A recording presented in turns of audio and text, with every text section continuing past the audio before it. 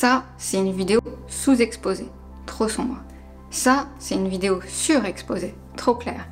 Et enfin, ça, c'est une photo bien exposée. Dans cette vidéo, je vais vous montrer comment bien exposer vos photos en utilisant le mode manuel de votre appareil photo. Et ça, même si aujourd'hui, vous n'y comprenez rien. Pour arriver à bien exposer une photo, on utilise trois réglages.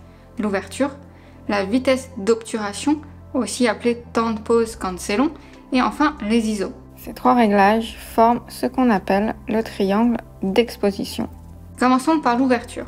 L'ouverture, en fait, qu'est-ce que c'est? C'est le degré d'ouverture du diaphragme de votre appareil photo. Plus il est ouvert et plus ça laisse passer de lumière. C'est contre-intuitif, mais ce qu'il faut savoir, c'est que plus ce chiffre est petit, plus on a une grande ouverture et donc plus on capte de lumière. Par exemple, une ouverture de f2, c'est une grande ouverture et donc on capte beaucoup de lumière. Une ouverture de f22, c'est une toute petite ouverture où on capte peu de lumière. Hormis la quantité de lumière qu'on fait rentrer dans son appareil photo, l'ouverture, c'est un autre impact, c'est ce qu'on appelle le flou d'arrière-plan, aussi appelé le bokeh. Et donc, encore une fois, plus on a une grande ouverture, donc un petit chiffre, plus ce flou d'arrière-plan va être prononcé. Second réglage, la vitesse d'obturation. La vitesse d'obturation, c'est le temps pendant lequel votre appareil photo capte de lumière. En fait, c'est le temps qui se passe entre les deux claques quand vous appuyez sur le bouton de déclenchement pour prendre une photo. Soit vous pouvez avoir clac clac et c'est que vous avez un temps, une vitesse d'obturation très rapide, soit ça peut faire clac clac et là c'est que vous avez une vitesse d'obturation plus lente. Plus le temps entre le premier clac et le second clac est grand, et donc plus on va récolter de lumière pendant longtemps. À savoir que quand ce temps est vraiment long, on passe sur plusieurs secondes, on, parle plus vraiment de vitesse d'obturation, mais on parle de temps de pause. Là aussi, on a un autre impact autre que la quantité de lumière qu'on fait rentrer au niveau de la vitesse d'obturation, c'est le flou de mouvement.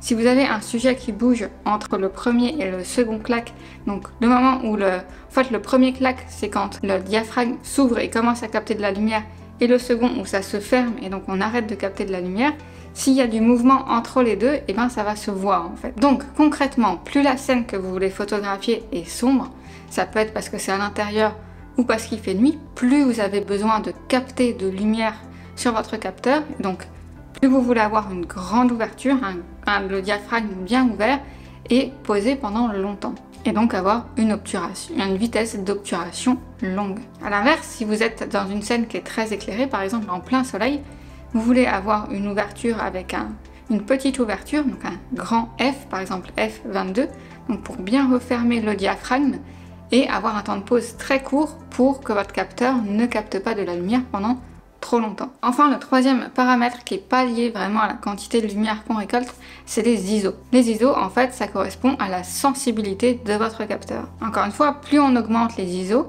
et plus on va rendre notre capteur sensible et donc éclaircir notre photo. Contrairement aux deux paramètres précédents, les ISO, les ISO c'est pas complètement naturel et du coup au-delà si on monte trop en ISO en fait on va générer du bruit, donc les petits points moches sur les images et ça va détériorer notre photo donc faut faire gaffe à ça. C'est pour ça qu'on essaye de plus jouer sur l'ouverture et la vitesse d'obturation avant de devoir monter en ISO. Pour résumer, on a l'ouverture et la vitesse d'obturation qui jouent sur la quantité de lumière qu'on fait rentrer dans l'appareil photo et les ISO qui jouent sur la sensibilité du capteur. Et donc en jouant sur ces trois paramètres simultanément, vous allez pouvoir régler l'exposition de votre photo. Pour aller plus loin, si vous vous intéressez à l'astronomie et ou à l'astrophotographie, chaque jour j'envoie une lettre privée par email pour apprendre à observer et à photographier euh, les étoiles, les planètes, les galaxies, les nébuleuses, tout ça sans se prendre la tête. C'est complètement gratuit et pour la recevoir, vous avez juste à vous inscrire en cliquant sur le lien juste en dessous.